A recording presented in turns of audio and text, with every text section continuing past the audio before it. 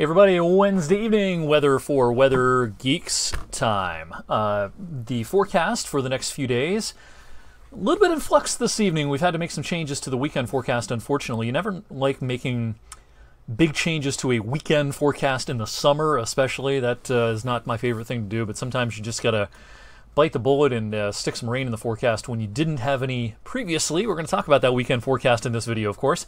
But first, I wanted to talk about uh, the, the rain or, or lack thereof in recent days. We had some beneficial rains at the very end of July and the first few days of August, but boy, the pickings have been slim in the past several days. When you look back at the last week, hardly a drop in a lot of eastern Ohio and western PA, kind of a, a hole in the uh, in the uh, total rainfall here. They did okay in western Ohio. Central and eastern PA have had some rain, but eastern Ohio, western PA, western New York, all pretty dry over the last uh, week or so, and we don't expect to add any to those paltry totals over the next 24 hours. Of course, we had zero inches of rain at the airport today. It was a little bit foggy at the start, but we had a partly sunny sky for the afternoon.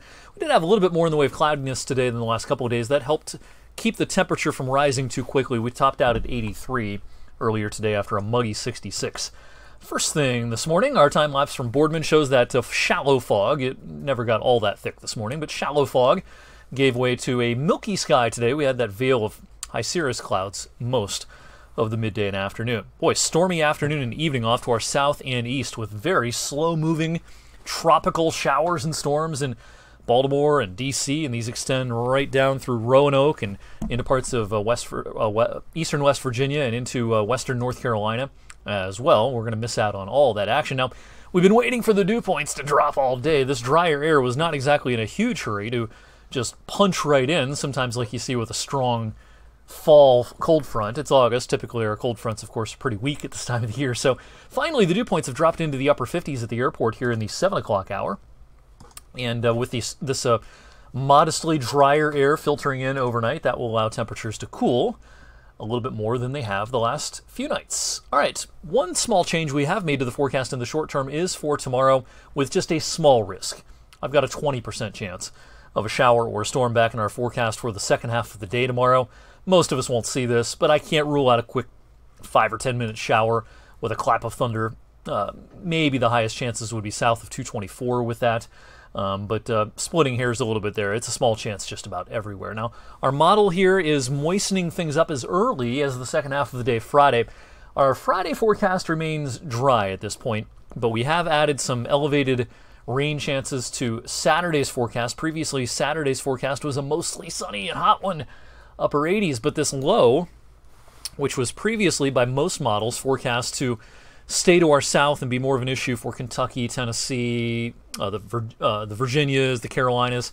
Now it looks like it's going to come far enough north to bring us some rain threats on Saturday. But there's one notable exception to this: the European model, typically one of our favorite medium range models. On average, it's going to be more accurate than the GFS, but that's just on average. Sometimes the, the Euro is not going to have the right idea, and the GFS is going to score a coup. Um, and the GFS has the support right now of other modeling aside from the European um, with this wetter idea coming our way Saturday. So when you look at the rainfall spread here on the Euro, the GFS, the GFS ensemble system, Euro has nothing. GFS would suggest that before the weekend is through, we might have a couple of inches of rain in some places. So weekend forecast is a challenge at this point, but we are leaning towards those wetter ideas because at this point the the Euro is kind of on its own shower and thunderstorm here and there, perhaps Sunday and Monday as well.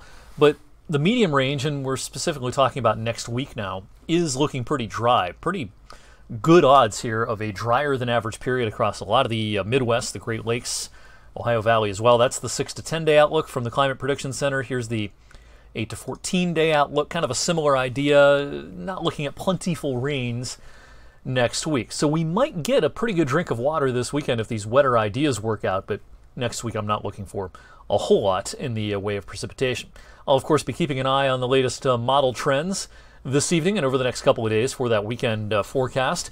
Make sure you're following me on all the social media outlets. Make sure you're following the Storm Tracker 21 Facebook and Twitter accounts. I'll see you back here on Thursday for a fresh edition of the Valley's most in depth and geeky weather forecast video.